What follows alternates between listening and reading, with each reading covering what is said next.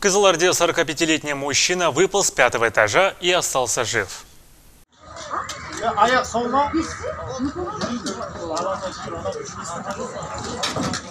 В департамент по чрезвычайным ситуациям поступило сообщение о том, что мужчина выпал с пятого этажа и зацепился за балконное перекрытие на третьем этаже. Известно, что молодой человек устанавливал телевизионную антенну и нечаянно задел провод, валявшийся под ногами. Не удержал равновесия и выпал. К счастью для него, удар смягчил балкон на нижнем этаже. Очевидцы вызвали скорую и спасатели. Мужчине на месте оказали первую помощь и доставили в больницу.